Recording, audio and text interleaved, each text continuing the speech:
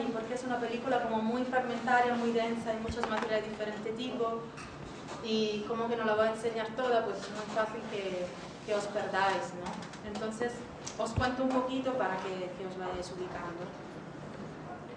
Bueno, como hemos dicho, todas las preocupaciones, las cuestiones de las que hablamos antes eh, están de alguna manera presentes, se intentan resolver tanto a nivel de, de estilo narrativo como a nivel eh, político, digamos, de hacer visible eh, toda una negociación con los participantes y, y, bueno, es una película que, la, que las directoras consideran una película colaborativa.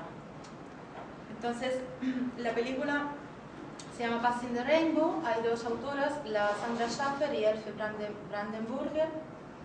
Y mmm, ellas cuentan, eh, ellas cuentan que eh, eh, es una película eh, colaborativa y multivocal que cuenta con varios personajes que en la película representan roles diferentes, algunos reales y otros ficticios. La cosa se complica porque mmm, no es solamente que ellas eh, representen a sí mismas en la película y también actúen como una especie de, de, ficción para dar contenido a la película o hablar de cierto tema en la película, sino que realmente algunas de ellas en la vida real son actrices. Y entonces a veces se ve eh, un fragmento de eh, algo en que ellas han trabajado, una película en que ellas han trabajado como actrices. Eso mmm, para, para, las autoras es particularmente interesante porque eh, permite ver cómo en el contexto específico de Afganistán eh, poder actuar, por ejemplo, en lo que sería una manifestación, puede ser una manera de eh, una manera en re realmente de vehicular sus reivindicaciones políticas. O sea, están en el set de una película donde se supone que tienen que actuar como en la época de los talibanes, en que las mujeres tenían que tener un burka, no podían salir a la calle, no podían uh, ni trabajar, ni ir a la escuela, habían cerrado los hospitales, o sea, tenían como una, un, un, entorno como muy hostil y de repente el poder actuar uh, como, uh, como actrices dentro de, esa, de este set, de esta película,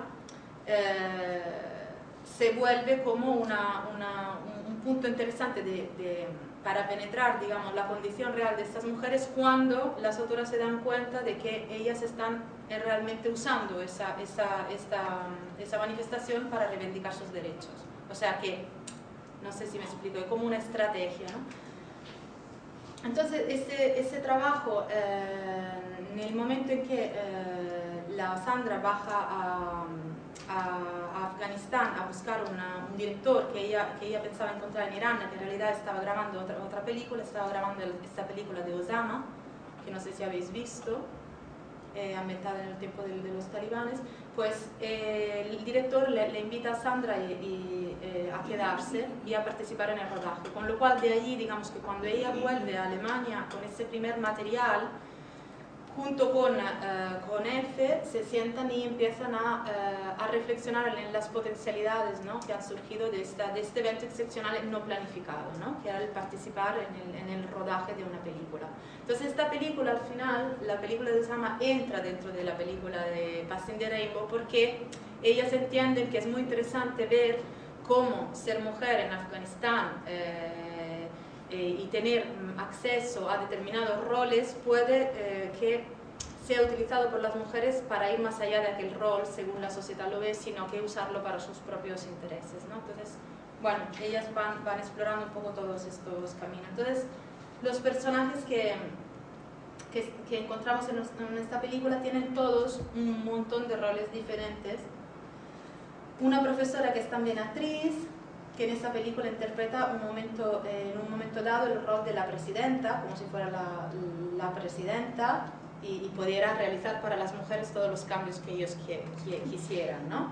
Eh, una policía que es directora de película de um, film de acción, que entonces performa, o sea, es una policía, pero también en su tiempo libre pues es directora de cine y en sus películas de acción hay, hay por ejemplo, em, las artistas marciales que rescata a un niño que lo han secuestrado y le, y le pega al hombre, bueno, es como toda un, ¿no? una muestra, una heroína, digamos, ¿no? una heroína que consigue así hacerse justicia. ¿no? Em, hay una compañía de teatro eh, de mujeres en Kabul que ensayan sobre una obra eh, relativa a las elecciones. Entonces digamos que mm, hay un personaje coral que es este colectivo de, de mujeres en, el, en, la, en, la, compañía de teatro. Hay un grupo eh, clandestino de mujeres activistas, Revolutionary Association of Women of Afghanistan, que luchan para la separación entre religión y Estado. Entonces también en la película hay momentos en que, eh, digamos, eh, se, se, se, aborda el tema de la clandestinidad y se aborda en relación también a, o sea, se hace como un paralelo, ¿no? Hace reflexionar no solamente en plan literal, sino por qué algunas mujeres aún no perteneciendo a ese grupo clandestino tienen que no aparecer en la película porque es su, marido, porque es su padre, porque no sé qué, ¿no? Entonces, hay como el tema del velo, de la, de la clandestinidad, del aparecer, de no aparecer y cómo se soluciona esto cuando tú evidentemente tienes una ética de proteger a tu, informante, pero a la vez tu público, o sea, eh, que sea en Afganistán o que sea en, en, en, Alemania, lo que a ti te interesa es, mostrar esto como un problema, no eliminarlo, no esconderlo, sino mostrarlo, ¿no? Como el derecho de la mujer a participar en una, en una película, por ejemplo, ¿no? o hablar en público, y cómo lo viven y cómo lo quieren solucionar ellas, qué pensamos nosotros y tal. Y bueno, hay otros protagonistas, un protagonista es eh, la, eh, lo que os decía, una, una actriz que, que, ha trabajado de protagonista en la película de Osama, y mm, una mujer que ha vivido disfrazada eh, como hombre para poder trabajar, y digamos una mujer que cuenta su niñez eh, a partir de esta experiencia. Mm, y luego, bueno, hay algunas escenas en que eh, precisamente se, se, sigue este tema de la manifestación para, mm, para investigar cómo estas mujeres están trabajando ahí en ese espacio político de alguna manera robado, ¿no?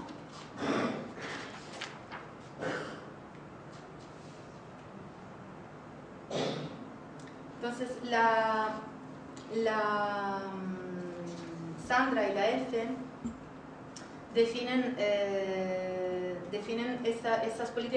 película como una película que, que, que, es alrededor de métodos para subvertir las, las normas de género eh, entre la realización cinematográfica y vida cotidiana. O sea, para ellas era interesante explorar esto, ¿no? esta estrategia de las mujeres de trabajar entre cine y ficción y, y ficción dentro de su propia realidad. ¿no? Al principio de la película se dice, ese no es un documental sobre la situación de las mujeres en Afganistán.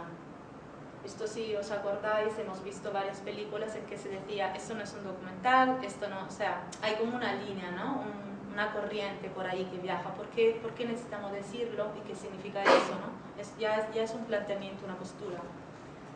Esto no es un documental sobre la situación de las mujeres en Afganistán, o sea, no queremos hablar para todas y no queremos eh, ser instrumentalizadas ¿no? para poder decir eso es una película sobre Afganistán o sobre, o sobre las mujeres.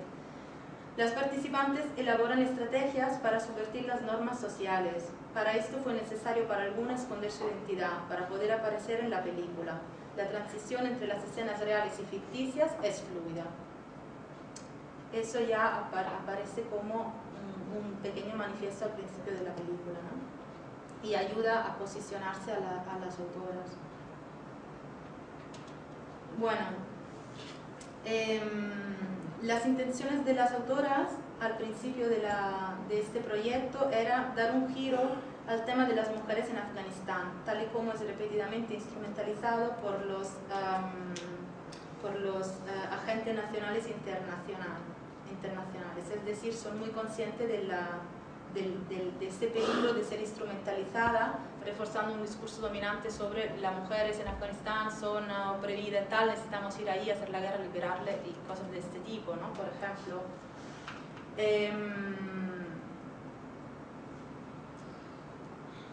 en, en, un texto que ha redactado Sandra, hay un artículo de Madeleine Derstov, que eh, explica que más allá de esta intención inicial que ellas tenían, han tenido que operar muchas, muchas otras acciones. ¿no? Y una ha sido la de eh, documentarse y realmente eh, superar esa distancia entre una mujer que viene de Alemania y va a Afganistán y tiene su, su mirada occidental, ¿no? incluso sobre el miedo, por ejemplo, que puede sentir, la representación que tiene de aquel lugar, cómo se siente, cómo puede moverse, cómo puede trabajar, lo que, eh, las repercusiones de sus acciones y evidentemente de una película que se va haciendo y que luego se proyectará ahí.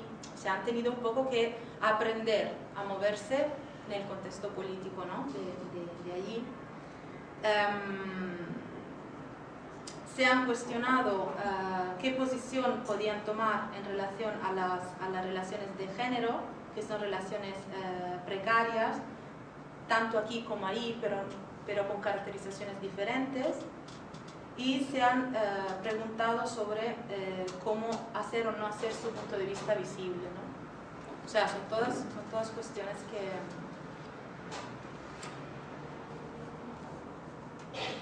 que han tenido que afrontar.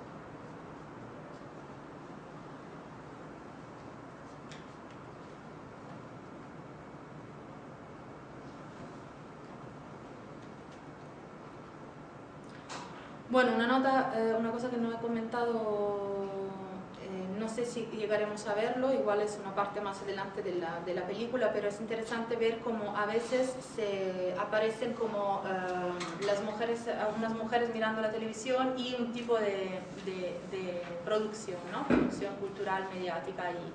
Entonces, si, son, si es un telediario, si es una manifestación, si es lo que sea, o si es una novela, o si es una, una, una, una teleserie, eh, y esta película juega un poco con, eh, con, las que son las heroínas ¿no? en el imaginario de estas mujeres. Entonces hay, por ejemplo, una, una mujer que era una princesa en el siglo XIII, pues ella se enamora, se enamora de un siervo, eh, evidentemente la condenan porque está violando las normas sociales y culturales y tal de la época, y la condenan a muerte, pero eh, a raíz de, de, este gesto de, de, coraje, de valor, de amor, pues su siervo, el, el, siervo de la que ella está enamorada, pues junto con otro siervo hacen una, una revolución y instauran la, la, democracia en este país, ¿no? Entonces, son como, son, eh, en esta película se juega también con la mirada de las mujeres hacia estas heroínas, ¿no? Y cómo aquel discurso tiene que ver con, con, el presente, ¿no? o la distancia que se marca entre, entre una posibilidad de afirmar ¿no? uh, una, un, un, poder, como la heroína que a lo mejor en un determinado momento dice, no me hables así, ¿no? Y, y ¿sabes? Y esta mirada casi decir, soy yo misma que lo estoy diciendo, ¿no? Entonces, se juega mucho con ese, con ese imaginario. Me parece que en ese sentido como una película que consigue realmente manejar un montón de estrategias ¿no? para romper esto, eh, esa visión te explico cómo es, sino hilando, ¿no? e hilando, e hilando todos los, desde, desde varias perspectivas, ¿no? lo que puede ser eh, un, una experiencia real de estos personajes reales que se han encontrado, que son evidentemente son sujetos ¿no?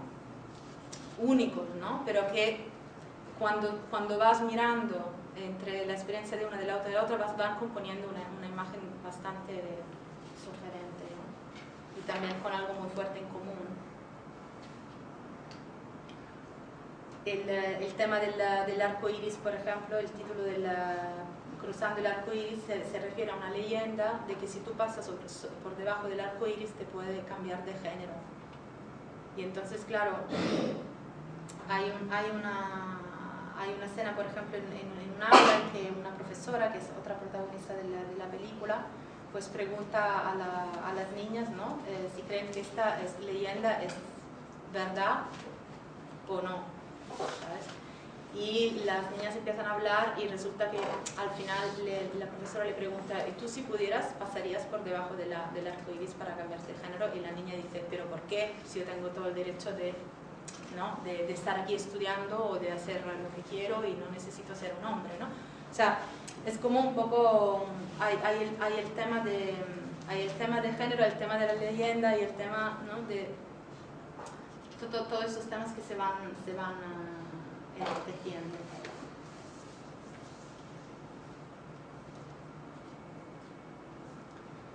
Bueno, ahora voy a poner la peli. Empieza... Eh, diciendo con una voz, no hay, no hay imagen y, y, y empieza así, como estás grabando, hemos cubierto las lentes, así que no se, pueda grabar, no se puedan grabar imágenes. Pero ¿por qué te tapas la cara? Por motivo de seguridad. Necesitamos mantener secreta nuestra actividad. Así que desde el, el principio, pues se habla del, del, velo indirectamente, aunque no lo veas, ¿no? se habla del velo, del burka o de la, de la clandestinidad o de la visibilidad, invisibilidad como herramientas estratégicas en que en cada momento pueden tener un valor u otro. ¿no?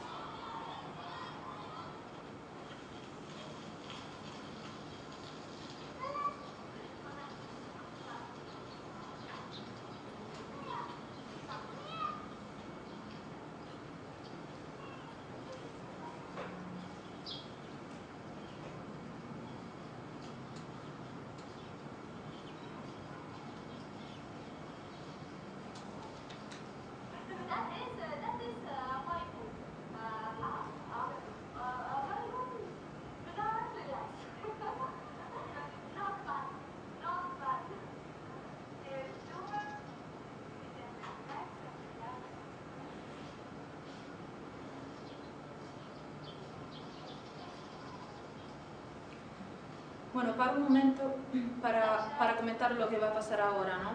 Para los que no entienden muy bien el inglés. Pues eh, aquí están hablando ella, que es una de las, de las protagonistas en esta película, y las otras, las que están de la Sandra y la F, que están de directora, y están decidiendo cómo hacer para grabar para grabar em, una escena en el aula, o sea, quieren grabar una, una clase de esa profesora.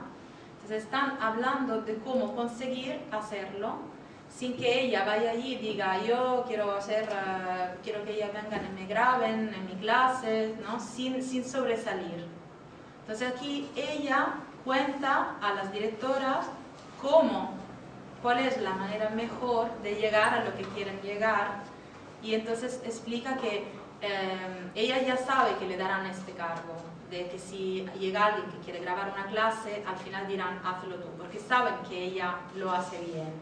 Lo que pasa es que ella no quiere imponer y no quiere sobresalir. Entonces eh, ella explica todo en ese eje y dice, vosotros iráis a pedir permiso para grabar, me lo ofrecerán y yo diré, pues es que si no hay nadie más, pues vale, y seguramente al final me lo harán, me lo dirán. ¿no? Entonces esta, escena es interesante no solamente para mostrar Em, digamos, cómo conseguir lo que tú eh, quieres, ¿no? Y la necesidad de colaboración que tienes con, con tus sujetos, sino realmente como, como, tú en el proceso de filmación vas aprendiendo a vivir allí y vas aprendiendo a respetar cómo ellas viven, cómo ellas quieren exponerse o no, ¿sabes? Y cómo esto hace súper necesarios que ellas sean uh, moderadoras, uh, codirectoras, ¿sabes? O sea, es súper necesario porque, porque si no, tú vas allí y, y primero de todo no llegas a donde quieres, no entiendes nada y vas a, hacer, vas a alterar unos equilibrios de una manera que, que igual no es bienvenido, ¿sabes? Entonces, bueno, es una escena muy interesante para eso porque ellas deciden ponerla. O sea, la cuestión, ¿no? Lo que os decía, todas las cuestiones que luego tú te haces sobre cómo visibilizas o no la negociación es un planteamiento evidentemente político porque tú podrías no ponerle, decir, a mí me interesa más ver cuando ellas van a la manifestación, punto, pero también hay eso.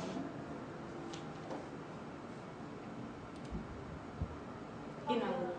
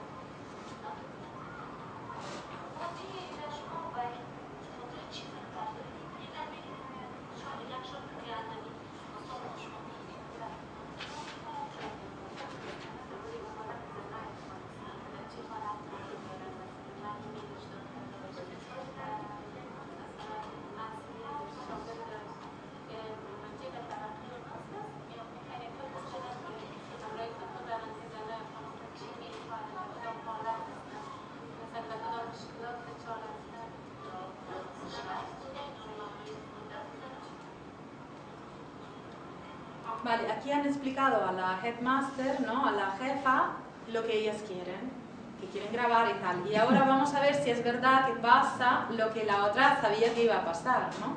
Vamos a ver. La llama a ella.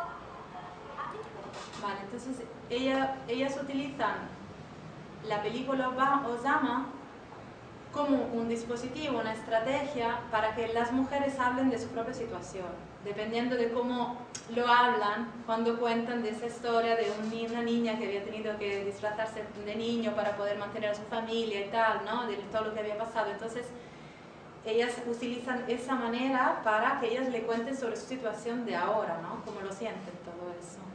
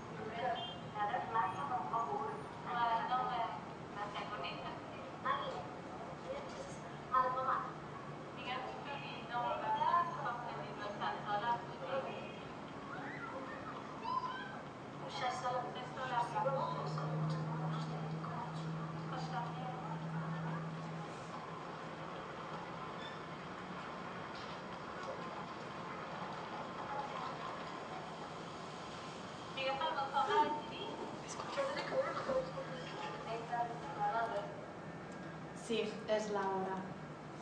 Es más de. Sí. Bueno, lo paro aquí, pero... Pero tenéis que verla película. Lo siento, no tenemos tiempo ahora de ver un trocito más.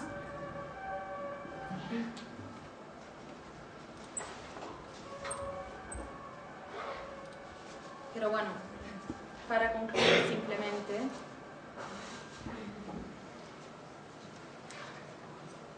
había puesto estas, estas, estas notas, bueno, estas reflexiones más que nada, ¿no? sobre esta relación entre teoría y método, que en la, en la metodología cualitativa pues hablamos como algo fundamental, y a nivel de, de, trabajo artístico, de trabajo crítico, cualquier sea su forma, ¿no? Esa, hemos visto la importancia entre esta relación de cómo se plasma en la forma lo que tú tienes como intención, ¿no? la importancia de, de, encontrar unos lenguajes, unas formas que, que, que, vehiculen tus intenciones de alguna manera. ¿no? Y el, el valor político de estas formas. Eh,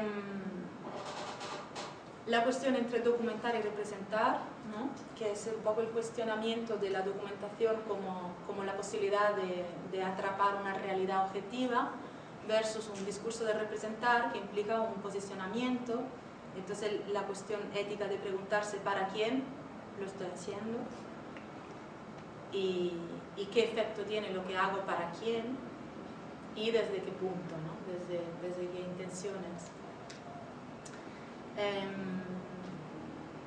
la importancia del contexto y, de la audiencia, hemos hablado un poco de esto también, y creo que mmm, para hablar de, bueno, de, de, de, contextos feministas es interesante lo que, lo que está surgiendo ¿no? de, de, redes de mujeres que están tomando, se están tomando cargos también de construir alternativa a la, a la, a la industria cultural, ¿no? un poco lo que tú decías, que es que a qué damos valor, como a arte, pero un arte de contemplación o un arte que sea, ¿no? que tenga un uso, que tenga un significado político para un contexto por lo menos ¿no? aquí y ahora. ¿no? Entonces, es, muy importante también plantearte qué haces después ¿no? de, un, de una producción así. Esas mujeres, por ejemplo,